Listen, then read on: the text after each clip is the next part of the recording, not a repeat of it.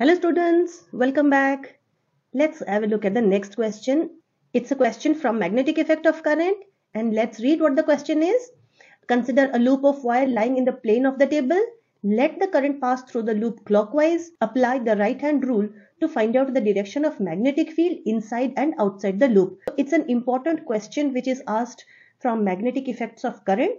Instead of me explaining to you through a drawing, let us see a video which will help us to understand the question better and thus help us to answer it easily. So let's go over and watch the video. So here I have taken a copper wire, though it's not a copper wire, it's a thread but since I couldn't get a copper wire this long, so I've tried to explain you with this thread and this battery. So here imagine that this is the copper wire and it is lying on the table because in the question it's given that the loop of wire is lying in the plane of the table. So it's lying over here and the current passes through the loop clockwise.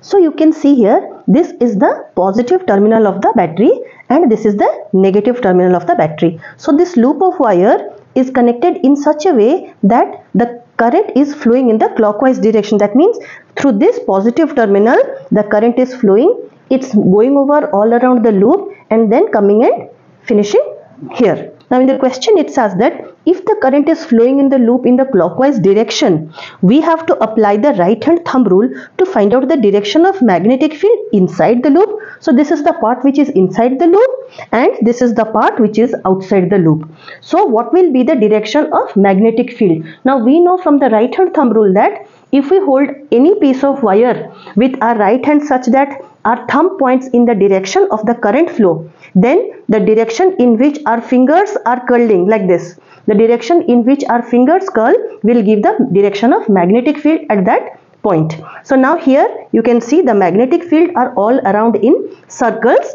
around the wire. Similarly, we have to apply this right hand thumb rule to this current carrying loop in which current is flowing in the clockwise direction. Now if I hold this wire, I have to point my thumb in the direction in which the current is flowing. Now since the current is flowing in this way clockwise so the current is flowing like this so I have to point my thumb in that way and I have to hold the wire. Now you can see this is the inner part of the loop and this is the outer part. Now how am I holding? Now I have to hold it in this way. So the direction in which my fingers are curling they are like this. That is I have my fingers curled in this way. That means in this part these are the magnetic lines which are going into the table alright so here inside the loop, the magnetic field lines are going into the table. Now if they go into the table, how will they come out on the other side like this? Alright. So on the other side, they will be out of the table. So on the other side, they are out of the table. That is outside the loop, they are coming out of the table whereas on the inner side, they are going into the table.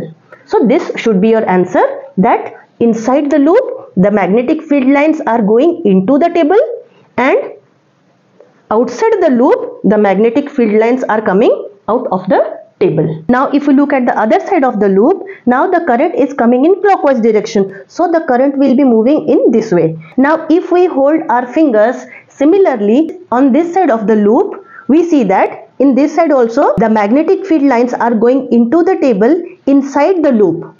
On the other side of the loop, you can see these lines are coming out of the table. Alright. So you can see here on the inner part of the loop, the magnetic field lines are going into the table or into the plane of paper or into the plane of the surface whereas outside the loop, the magnetic field lines are coming out of the table or out of the paper or out of the surface. To conclude the answer, we write that inside the loop, the magnetic field lines are into the table or the surface and outside the loop, the magnetic field lines are out of the table or the surface. So I hope you are clear.